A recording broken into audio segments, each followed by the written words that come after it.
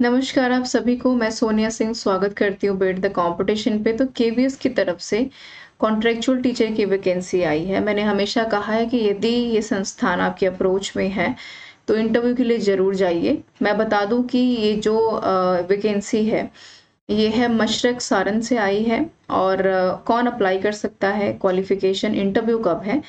और कुछ विशेष बातें एडवर्टीजमेंट का जो ऑफिशियल लिंक डिस्क्रिप्शन बॉक्स में आपको मिल जाएगा तो सारी चीज़ें एक एक करके डिस्कस करेंगे। तो वीडियो को शुरू करते हैं तो ये Kendriya Vidyalaya Mashrak dot K V S dot A C dot in का ये ऑफिशियल वेबसाइट है।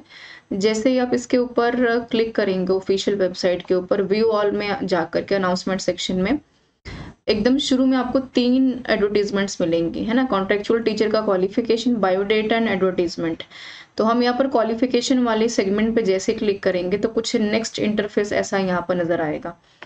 मैं आपकी सुविधा के लिए इसको काफ़ी जूम कर रही हूँ, जो कि आप देख पाएँगे। तीस तारीख को ये एडवर्टीजमेंट आई है। ठीक है, तीस अक्टूबर के आसपास। माफ़ कीजिए, तीस सितंबर के आसपास। तो पीजीटी में आई है इकोनॉमिक्स में। ज़ाहिर सी बात है मास्टर साहब का होना हो, होना चाहिए बीएड हो। और प्रोफेसेंसी हिंदी इंग्लिश में इन्होंने मांगी है, जो कि आप देख पा रहे हैं। सत्ताईस हज़ार पाँच सौ इनकी मंथली पेमेंट है। पीजीटी की केमिस्ट्री में आई है तो एमएससी यदि आपने कर रखे रीजनल कॉलेज एजुकेशन से एनसीईआरटी जो है एफिलिएशन हो नॉलेज हो कंप्यूटर एप्लीकेशन की सत्ताईस हज़ार सौ सैलरी है। पीजीटी हिंदी में मास्टर्स हो। साथ में हिंदी या संस्कृत में आपने कोई एक विषय आपने पढ़ा होना चाहिए। बीएड आपके ज़रूरी है। पीजीटी इंग्लिश में अगेन ग्रेजुएशन मास्टर्स बीएड हो। 50 परसेंट मार्क्स के जो है, क्राइटेरिया पे, कंप्यूटर साइंस में।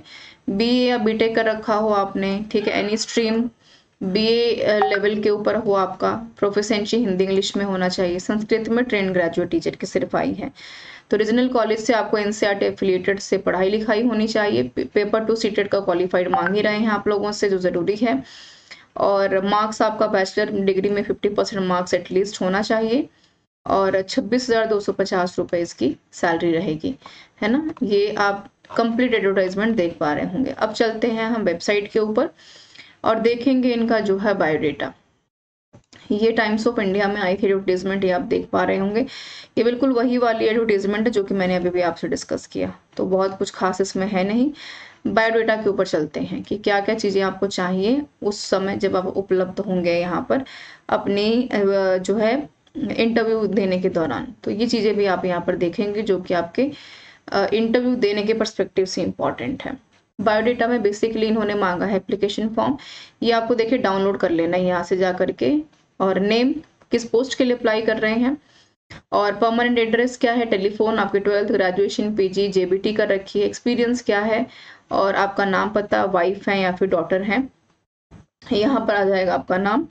तो ये आपको लिख देना है यहाँ पर। और उसके बाद आपको यहाँ पर permanent recruitment in any ground कहने के विल नॉट क्लेम आप नहीं क्लेम कर सकते, इस चीज़ का ध्यान रखिएगा, ठीक है? और नेम सिग्नेचर्स के साथ आपके हो जाएँगे।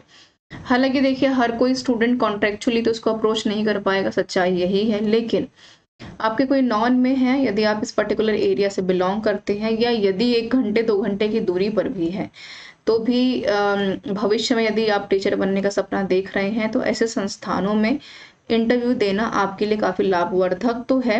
एक एक्सपीरियंस आप गेन करते हैं और देखा जाए तो सिलेक्शन होने के चांसेस ज़्यादा रहते हैं यदि आपका कैलिबर उस तरीके का है। तो मिस मत कीजिएगा इसको, जाकर के इंटरव्यू दीजिए। और एक्सपीरियंस गेन कीजिए। होना ना होना तो एक बात की बात है, लेकिन पॉजिटिवली जाएँगे तो ज़रूर चीज़ें संभवतः यहाँ पर हो पाएँगी। सारी चीज़ें आपको डिस्क्रिप्शन बॉक्स में मिल जाएँगी। मेरे साथ बने रहने के लिए आपका बहुत बहुत धन्यवाद।